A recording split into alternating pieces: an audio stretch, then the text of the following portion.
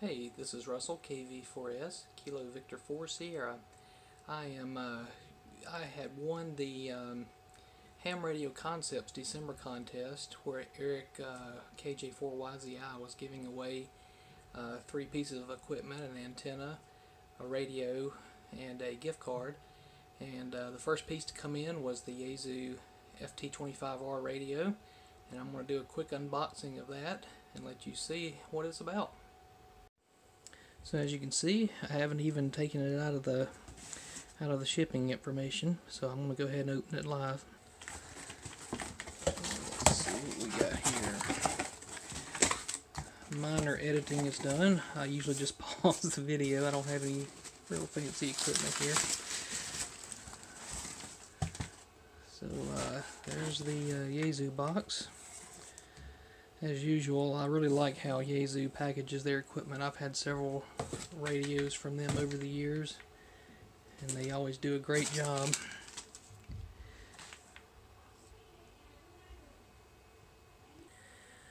So the uh, box was much smaller than the shipping box, but that's probably normal. And of course I do not have a camera stand, so this is even shakier than probably everybody else's out there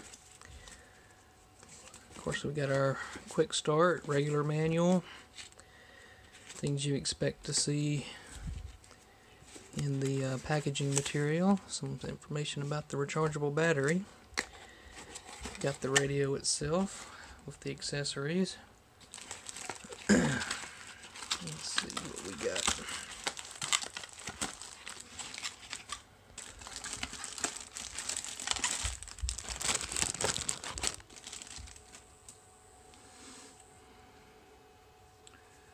Wow, impressive.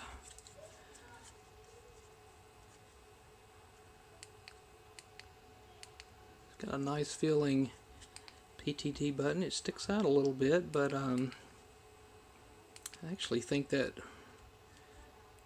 feels pretty good in the hand.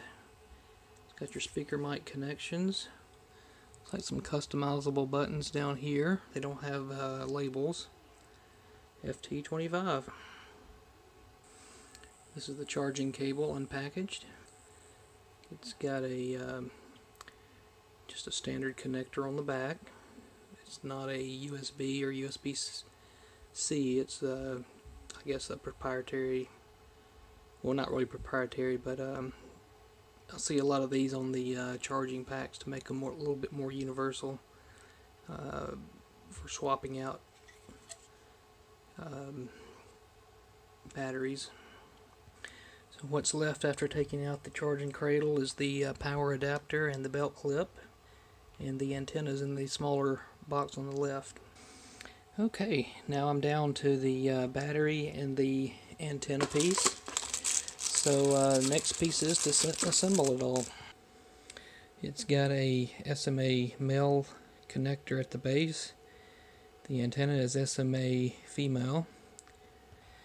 The belt clip is on the outside of the battery, or not attached to the battery, which is a, a better design to me.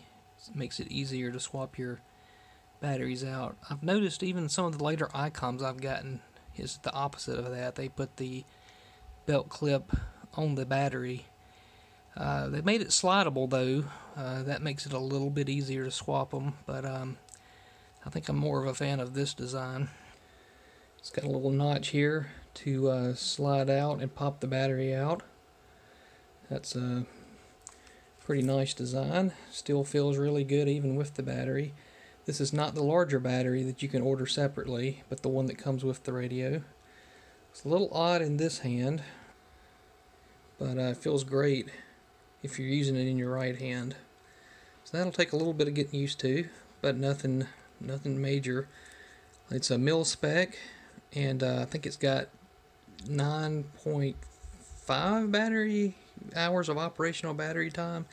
That's great compared to a lot of the HTs I've had in the past from a little over a decade ago. You probably couldn't get an hour, maybe two, uh, especially on transmit with uh, the batteries. I've, they've come a long way with the battery technology for, for handhelds now.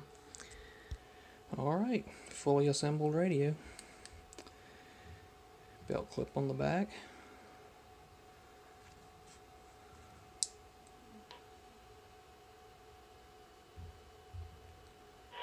I'll get into I may do another video on programming it. It just depends on how complicated it is. But um, for single band radio, single purpose, rugged, can take it anywhere.